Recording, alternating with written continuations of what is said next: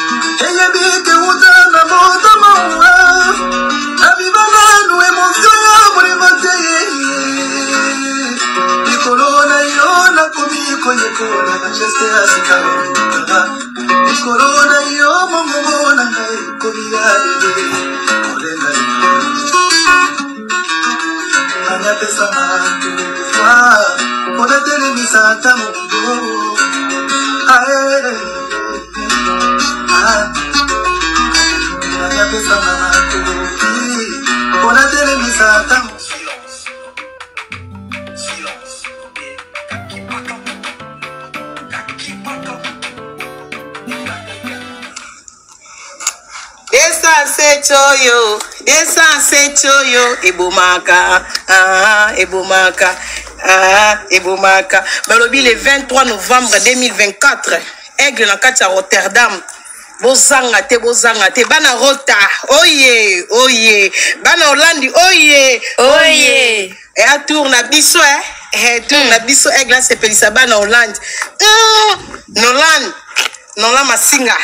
peti na ngai osentire aigle na kati ya rota torobina 207 kabwe ebomaka ebomaka Maman ekata zoba no wifi mm. boye ebele ba vrai chéri ba vrai jo na kati ya hollande amsterdam utrecht dordrecht rosendal zandam boya ebele tosepela elongo aigle na mabele na biso bana hollande eh? baya te barata les défenseurs des warriors toujours attaque toujours oyo oh, manuela kitoko desansete oyo ebomaka ah, ebomaka tokos salut le warrior salut les fans de la bonne musique salutations également à fali ipupa le number one de la musique africaine la méga star oyo atiki bamisio congolais na défaut avec des disques d'or et plusieurs trophées star oyo azongiseli bacongolais musique na poto tout en mettant les combattants à genoux. Hmm. l'orchestre et baorchestre ekomi ba dat na ordre ya kisinjora hmm? toute grâce philomène le owasa bijou la mokelengi ne vous fatiguez pas continuez toujours de liker commenter et partager mes vidéos et ceux qui sont sur Free Caprice pour la première fois, abonnez-vous sans hésitation, s'il vous plaît. C'est gratuit. eh, okomante olaike osabone prochainement libanga ya sur deux fois te chers amis chers warriors et vous les fans de la musique congolaise toloba toloba tokobandaka kaka koloba tokolemba bino te avant nakota na mozindo ya lisolo na signale bino ke toza na sere moko ya vrai humoriste de profession bourre de talent ayebani mais ebele kati na bino botiaka ye kati elle est aussi youtubeuse asalaka ba analyse moko très réfléchi la sœur en question soki olandi ba multiple analyse na ye tu vas te dire qu'elle est warrior mais ye moko nanu aloba te ke aza warrior alors que biso na fit tv caprice toadopta ye comme warrior kaka ndenge nalobaki dans l'une de mes émissions précédentes pour devenir warrior il n'y a pas de formulaire à remplir na minute oyo vouloir ou pas charlie prince asi akoma déjà warrior et de là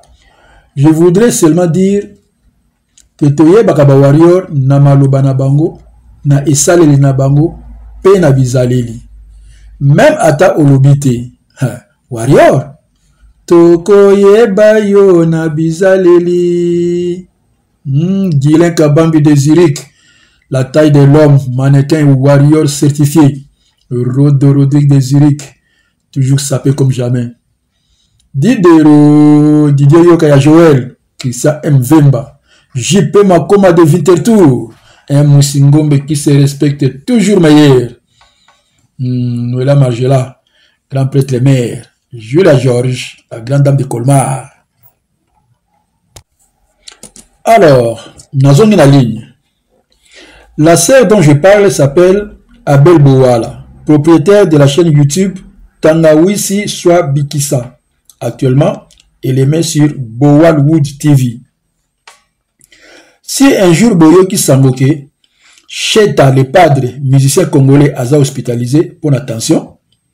eza nde sere na biso oyo nde amatisi ye mafuta donc to ya sucre emati mpe amatisaka yango kitoko bakongole ebele basepelaka na verite na realite Il y a tout ce qui se passe autour de l'actualité musicale ya mboka na biso. Mais eloko moko baboyaka eke koloba Fally aleki ba musiciens nyonso ya Congo kobanda na Wendo tina le dernier. Et pourtant devise ya musique ya Congo elobi yemba nde beta nde bina nde et puis teka nde tia badate alors à présent nani azorépondre na bacritère nyonso oyo Céphalie, Poupa, El Rey, Mago, Aigle. Hein? Les autres sont en bas de l'échelle et très très bas, s'il vous plaît. Hmm? Denis Badi Banga, Brunel Bouya, tout est grâce, Sila Ozem, hmm? Bolanda. lobi lobi awa na cactus tv ya charlie prince tomoni sere na biso au nom de magali kongolo aye koconfese alobi azongi na ye na famille warrior mpo kuna eloko eye te o awa tobengi ye te kuna mpe babengani ye te hmm? hmm. fali ipupa c'est la force pesanteur la sœur magali alobi meme na musique ege nde asimi masolo meme na organisation des entreprises f victime beaucoup plus organisé ke epai ye awuti alors kufa nsoni kumona pasi pasi eleki alandi na ye aigle po aboyi abebisa vie na ye pamba alors je disais que abel bowala ye mpenza nde akobomatila mpe na tension mpo asimbaka esika esalaka mpasi lelo akei lisusu kokundola makambo oyo ebombama nango oyo kutu biso ba warrior tolobelaka lisusu te puiske soki olobi kaka ke toza na badisque dor kuna bagangi non non eza ya lokuta eza ya makiona soki tolobi ke toza na batrofe ebele yoka kuna non ya lokuta non faut to verifier ah bon bandeko ah, ngai naza bola moko na mouvement nayebisi ke eh, oyebi ke lelo fali azokonte déjà 137 trophée yoka golois oh, 137 wapi eza 84 ekomi susu 137 ah bon mon cher ah, oyebaka ezalaka 84 donc kontaka moko ebongo eh, eza 84 ah ok naseka comme pas possible hmm? donc bokontaka yango mpenza mais bosalaka semblant alors sans plus tarder totala biloko abel akundoli na site ya snap soki boyeki tilapia apike crise eza mpona makambo oyo Et là, fait la douceur, Bundesliga. Zulu Mogrosso International, femme forte. Adi Bio, Adi Yando. Loti Fundu Ise de Paris. Jacques Bernardo. Dan Lefebvre. Denise Biyunudi. Marie-Marie. Tolanda. lelo nalandi émission ya ndeko moko babengaka na nkombo ya splendeur akoma défenseur ya fali ipupa alobi na emission moko boye esekisaki nga parti wana alobi fali na fere meme ata na leta c'est-à-dire que débat ya fali na fere nani aleki moninga so ekomi na niveau ya leta ye alobi akoganie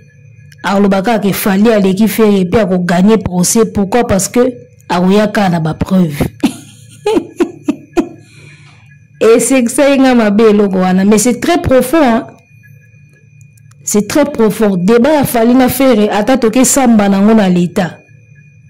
nini elakisaka efali aleki fere ya oya na bapreuve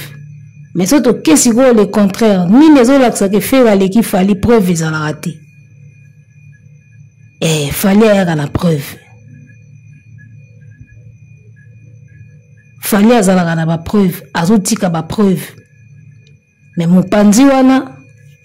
soki olobi kaka ke eh, fere aleki fere danger yaka na bapreuve soki obandi kaka na nini tokende na preuve moko moko moko baotangela oka de makambo baoloba belle voix ayebi koyemba epuis baosuka wana oyo oh, tu etikali soki obandi kotanga ya fali ti bomona kaka bango balali bosisa kotanga boye bolamusa bango ya kolamusa alors nabetaki mwa tour moke na snep kaka ndenge ezalaka natambola na nga bitambola tambola na nga na internet ndenge ezalaka ndenge natambolaka tambolaka na nga na internet nabetaki mwa tour nabeti mwa tour kuna natala baclassement natala kaka ka nde miso elingana nango kotala etala kaka nake kokuta kuna makambo alors on va vous balancer les images pendant que tozosala commentaire voilà snap yango wana nakotaki nanga kaka natalatalaka nde ezalaka ba ba certification ya semaine ba top album top single ya semaine na bwaki bwaki na kaka misu na tali tali tali na suka ngonda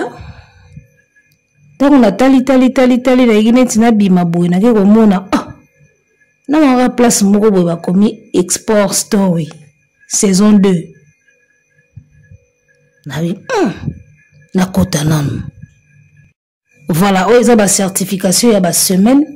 basemaine oyo kaka ya 2024 donc natali kaka classement ya batop album ya 2024 na cadre kaka ya curiosité natala kaka nani na nani baza wana alors nake kokuta elo moi esali nga plaisir elo esali nga plaisir yango oyo bakomi succès story export succès sport et succès story export donc bazolobela sikoyo bahistoire ya badisque export oyo baartiste bazwi et au cours de cette année quoi alors on va lire hein? on va lire tokotanga e, success story et export et lobby alors balobi boy après un premier épisode dédié notamment au success story de Jen, Angel et Ayana Kamura,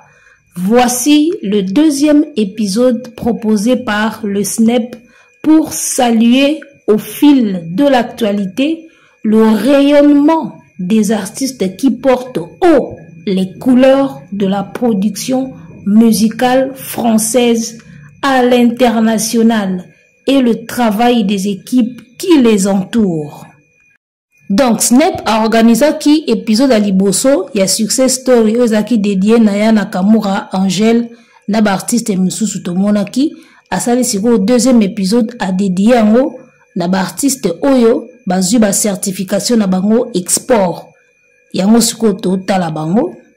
donc succès story eya lokola mwa mini documentaire mwa bref présentation ya baartiste oyo bazwi badisque na bango export yango omoni batandi bango awa on va, on va les voir tout de suite voilà tobandi déjà ya liboso yeyo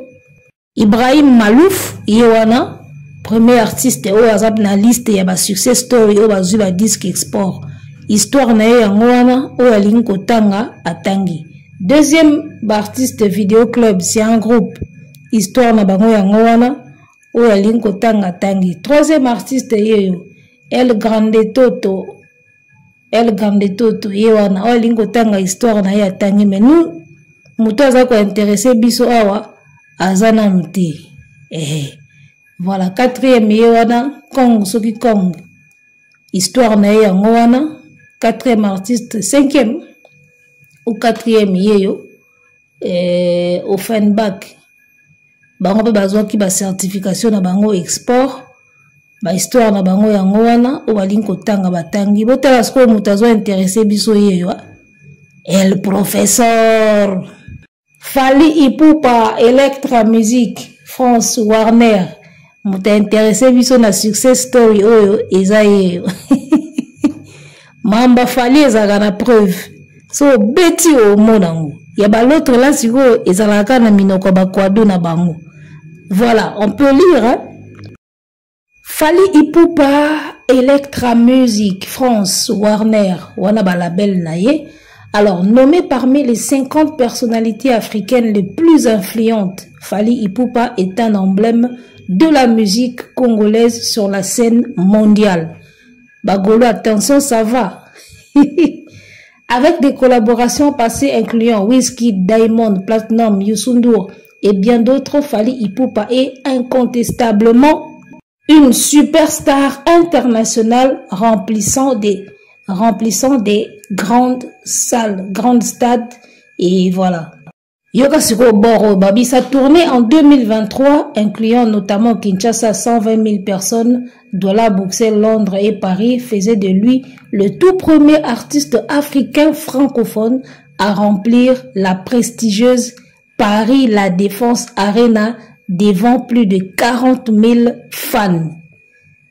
Golois, attention, ça va. Après six albums euh, multi-certifiés, son dernier projet Formule 7, Nanani Nanana, allez continuer de lire les gars. Kotanga ya musala. Voilà. Wana Fali Ipupa, un Congolais natif de Bandal, à côté na carte succès story. Succès story, ndenge totanga kero ne bandeli, balobinini. balobi eza euh, présentation ya baartiste oyo bazwi badiske na bango certifie par export ale yoka sikoyo eloko oyo eh? parti oyo bakomi des artistes qui portent haut les couleurs de la production musicale française à l'international est ce que bokangi phrase oyo bien cestadire baartiste oyo batangi awa na succès story oyo eza baartiste oyo bazoporte haut la production française en terme ya musique donc cestadire ke fali ipupa mwana bandal un, un congolais natif de kin banini eh? 50 50 de père et de mère congolais pena pena mwana alia kwanga alia pondu alia madesu fumbwa ye aza parmi baartiste oyo baza koporte o production ya musique française donc quand on parle de la musique française fali ipupa azo faire partie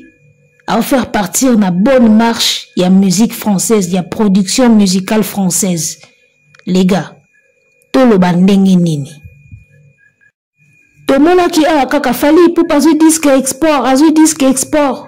eh, ezalaki formule 7 formule 7 azwi disque d'or export bagolois batye tembe kaka nde bamesana tembe tembe eh, ya lokuta eh, ya fo eh, tembe kaka nde bamesana sikoyo lelo nzoka snap asaleli bango success story asalaki première partie aya na kamora na deux personnes awa sikoyo basali fali ipupa na 4 mindele yaya le seul chanteur congolais oyo abundaka na mindele ya france en terme ya musique ya badiske eza ka fali artiste abovan soki aza international aya na snep yaya nga mikolo nayo lingaka aya kota snep O dynastie, o wod, o fera ye mbi na français, yaka nango na snep kasi. Batanga pe kombo ya label na yo, d'accord? Yaka nango na snep. Soki yo otekaka na marché français te, kende nango na marché oyo otekelaka, lakisa biso plateforme oyo ecertifiaka ba disque lokola snep, me ya mboka oyo yo otekelaka, to ya mboka ya label na yo, eh artiste abova azalaka na soni musique azalaka na soni musique soni musique ezalaka na afrique du sud sikoyo kuna baplateforme to bamaison oyo eza lokola basnep ya afrique du sud ezalaka te mpo tomona mpe baklasse ye basaleli ye mpe certification ya export basaleli ye mpe succès story na ye totangi mpe nde totangi ya fali ezalaka te bino ka amazone amazone amazone so bavandi premier na amazone baomona yango danger makambo eza nde koto oyo makambo olali nde koto oyo tu vois un artiste qui se dit international yaka na disque na snap baklasaka yo top, top album de la semaine baklasaka yo na batop vente de la semaine ti un jour tomona mpe boye les certifications de mois ou de la semaine tomoni mpe dynastie na kati bino bokangamaka na amazone vraiment papa ata bino moko don na minute oyo mwana mai fali ipupa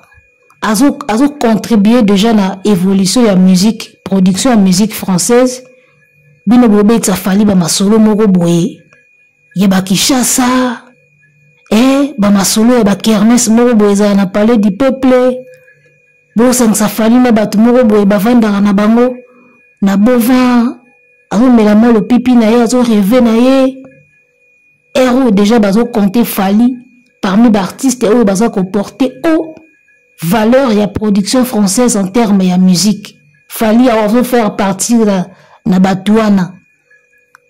Donc France eyebi Fally. Marché de disque français eyebi Fally. Eyebi Ferre te. Tolobaka bien, botekaka na Amazon, mais marché de disque français e reconnaître bino nanu te. après bokoloba toza bainternationaux toza bainternational mpo ya nini obetaka na cote d'ivoire obetaka na braza ah yaya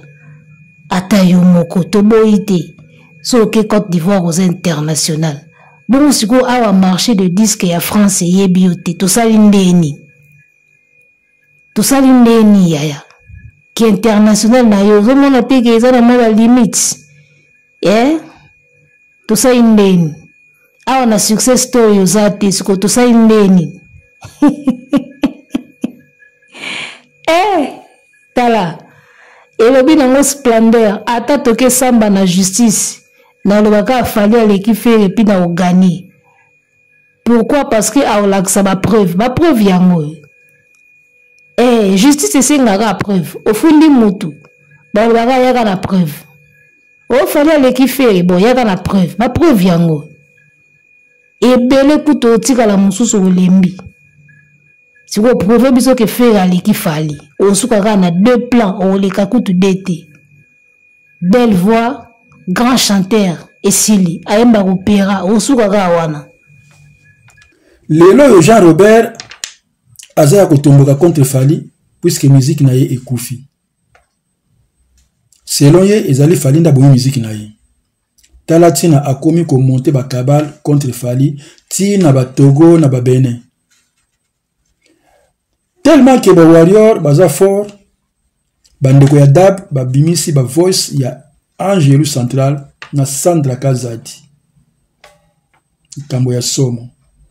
babombaki mwinda ya kandelo na kati ya ndako lelo milinga ebimi libanda Pourquoi? Parce que Fally frappe fort et très fort. Fally te nde abomi musique na bino. C'est formule 7. Bo s'en prendre na formule na formule 7. Hmm? Tosali neti ndenge nini? Eh, Nasha, Sami Kandolo, Moka Mbanza, Jessica Luboya, Vivela, Mboka Elenga. Check.